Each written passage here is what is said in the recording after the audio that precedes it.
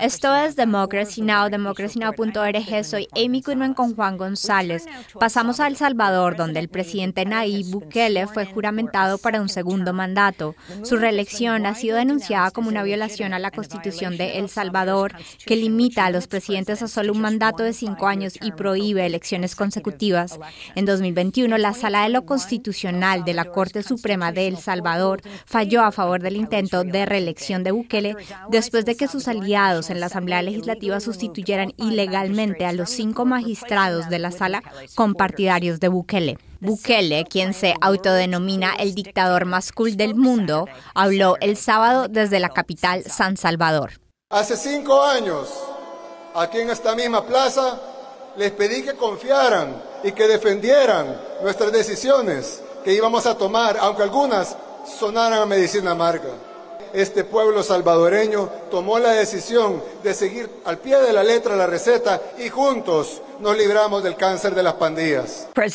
La investidura de Bukele se produce al tiempo que su gobierno continúa aplicando un estado de excepción en el país para librar la llamada guerra contra las pandillas, que ha llevado a la detención de casi 80.000 personas desde el 2022, muchas de ellas sin el debido proceso. Grupos de derechos humanos han advertido sobre violaciones graves a los derechos humanos y torturas dentro de las asignadas cárceles salvadoreñas y estiman que al menos 240 personas han muerto bajo custodia policial. A pesar de las crecientes preocupaciones por el autoritarismo de Bukele, el gobierno de Biden envió a la toma de posesión una delegación encabezada por el secretario de Seguridad Nacional, Alejandro Mayorkas. Hace solo tres años los funcionarios de Biden se habían negado a reunirse con Bukele por las preocupaciones generadas por su gobierno antidemocrático. También asistieron a la ceremonia del sábado en San Salvador el presidente de derecha de Argentina, Javier Milei, Donald Trump Jr. y varios aliados de Trump, incluido el congresista de Florida Matt Gaetz y el expresentador de Fox News Tucker Carlson. Manifestantes se reunieron frente a la embajada salvadoreña en Washington D.C. para condenar el reconocimiento del gobierno de Biden a lo que ellos denominan el segundo mandato inconstitucional de Bukele. Sabemos que su gobierno conoce del secuestro y muerte de nuestros hijos y familias en las cárceles de Bukele Presidente Biden, nos avergüenza que su gobierno decida participar en la toma de posesión de un dictador en El Salvador para más información vamos a San Salvador, desde donde nos acompaña Román Gracier, periodista franco-estadounidense de El Faro en inglés, que cubre la política centroamericana. Su más reciente artículo se titula Biden y Trump compiten por ganar apoyo en el nuevo Salvador de Bukele. El Consejo Editorial de El Faro también publicó recientemente un artículo de opinión titulado Ha nacido una dictadura. Román Gracier, bienvenido de nuevo a Democracy Now! Explique la importancia de esta investidura, el segundo mandato de Bukele. Sí, efectivamente es el cumplimiento de un proceso político de concentración de poder que empezó al menos desde 2021, con la remoción en mayo de ese año de la Sala de lo Constitucional y del fiscal general. Eh, meses después, la Sala dio un, giro radical que dejaba atrás seis artículos de la Constitución que prohíben explícitamente la reelección inmediata y dijo que el presidente bien podría competir, que el país no debería de estar em, sujeto a, a consideraciones de hace 40 años.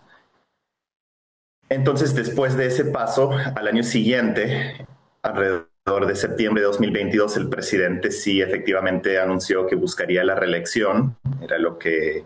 se intuía, lo que estaba en, el aire. Y hasta octubre de 2023, el año pasado, minutos antes de, la fecha o el momento límite para inscribirse como candidato, el presidente presentó su candidatura. Y en ese momento argumentó que iba a tomar unos seis meses de un, periodo, un descanso presidencial de sus labores y que iba a poner a, su delegada Claudia Juana Rodríguez en su lugar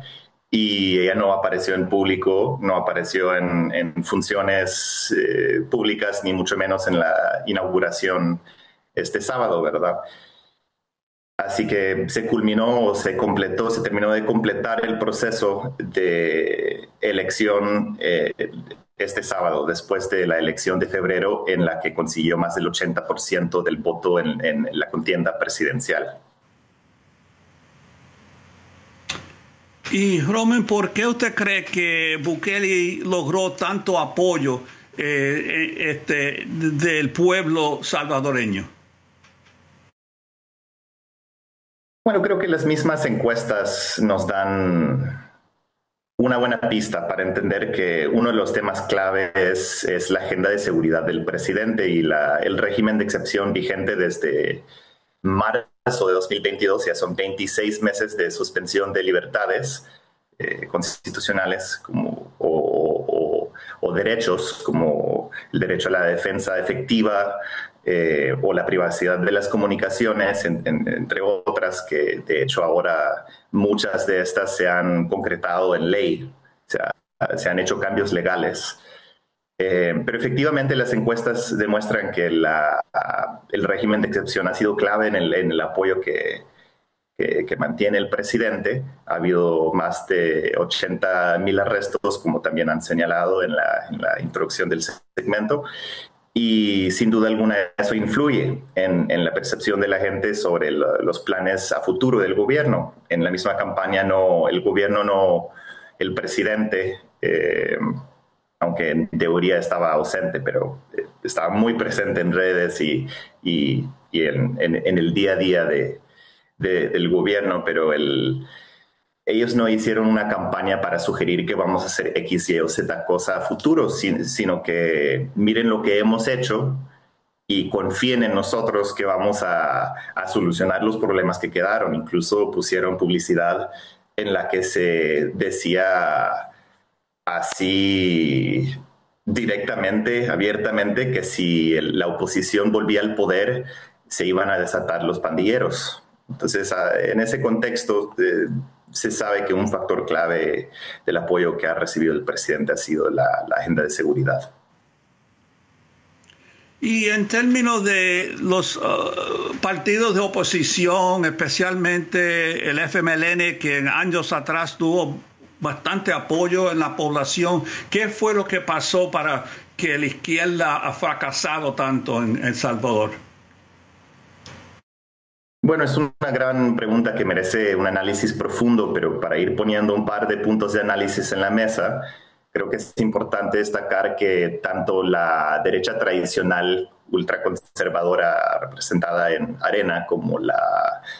tradicional de izquierda, el Frente, el FMI, MLN eh, tuvieron un desgaste tremendo en, las últimas décadas a lo largo de sus gobiernos y que ese, ese mismo desgaste allanó el camino a que Bukele llegara al poder y se ha ido concentrando además por un discurso súper hostil desde el gobierno que, digamos que, propone que los, los, críticos o los que no están de acuerdo con, con, el plan del gobierno son enemigos del pueblo y que ha sabido capitalizar ese, esa angustia que, se, que, sienten los salvadoreños con, con, los gobiernos del pasado a lo largo de los últimos cinco años. Y además el segundo elemento, diría yo, es que en los meses antes de, de la contienda se, hizo un gran cambio en términos de, las mismas reglas de la contienda electoral. Eh, redujeron el número de escaños en, la Asamblea Legislativa de 84 a 60, si no estoy mal, y también redujeron el, número de alcaldías de más de 260 a 44 y hubo señalamientos de, lo que en inglés eh, se llama gerrymandering, o sea, un cambio de, distritos que suele favorecer al, que los hace. Y además hubo un cambio en, el método de recuento de voto a un sistema que suele favorecer las mayorías legislativas en ese contexto. Y eso pasó meses antes de la contienda electoral que en teoría debería de, haber pasado mucho antes o, se, debería de haber puesto en, en, la mesa de discusión, pero lo que hemos visto desde 2021 es que lo que el presidente decreta en, la Asamblea o, envía a la Asamblea, se, tramita, se, vuelve ley, porque desde mayo de 2021 tienen una mayoría calificada. Entonces, creo que el, el fracaso de los partidos de oposición que ahora mantienen tres eh, escaños de 60 en la Asamblea y son dos de Arena y uno de Vamos, del partido Vamos, eh, tiene que ver con esos dos elementos. Y en términos de la política eh, económica del gobierno de Bukele, ¿qué nos puede decir que son los, los puntos más importantes para entender? Bueno, durante la misma inauguración, él reconoció que es el digamos, el flanco débil que él tiene políticamente en este momento. Y tiene varios aspectos, pero en medio de la inauguración se, presentó o se hizo referencia implícitamente a, él mismo como un doctor que cura a, la población de, cáncer, eh, las pandillas, y que ahora le va a tratar el corazón. Si es que el pueblo no escucha a los doctores del pasado que que dijeron que su tratamiento para el cáncer era, era una locura, que no iba a funcionar y sin embargo, si le siguen al pie de la letra sin quejarse, y lo digo entre comillas, al pie de la letra sin quejarse, también les puede curar el, el corazón. Y dijo explícitamente que, que, eso representaba la economía. Hay altos niveles eh, que desde la pandemia no se han disminuido de, de hambre en el país. Hay una economía agraria muy complicada y además la cuestión fiscal ha sido muy complicada desde hace tres años, cuando recuerdo muy bien que lo que se decía para 2022 es que el gobierno tenía una, una posibilidad importante de poder, de, caer en impago de su, deuda, pero que sin embargo a través de una serie de, de ajustes, incluyendo una reforma de pensiones, logró obtener los fondos a corto plazo, pero el tema sigue latente, el problema sigue latente. Y además, eh, por otro lado, en ese contexto están las negociaciones con el Fondo Monetario, que aunque personas en el entorno, en el entorno bitcoiner del presidente puedan decir que el Fondo Monetario va a desaparecer. Lo que el gobierno ha hecho desde hace unos años es tratar de ajustar la deuda con el Fondo Monetario justamente para evitar ese tipo de problemas. Pero desde 2021 o 2 el fondo ha señalado tanto los retrocesos democráticos como la implementación de Bitcoin como moneda de curso legal como impedimentos a ese proceso. Y también ese digamos que esas dudas también han, aparecido en, en, el Senado del Congreso con el lado republicano incluso, que ha sido muy, muy cauto, muy, por decir poco, en su, en su relación, eh, evitando críticas con Bukele. Um, por último, Román, hable de lo que se vio en la ceremonia de posesión y de por qué había ciertos asistentes de Estados Unidos, país que Bukele visitó hace un par de años, pero en el que los funcionarios del gobierno de Biden rechazaron reunirse con él debido a su tendencia al autoritarismo.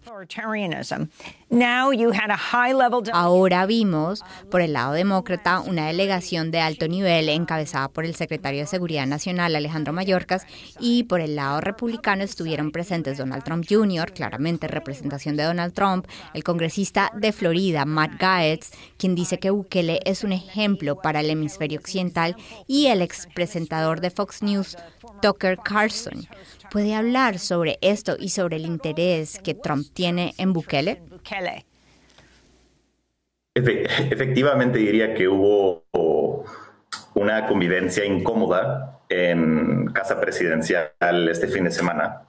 eh, con la llegada tanto de una alta delegación de Biden, encabezada por un miembro de su gabinete,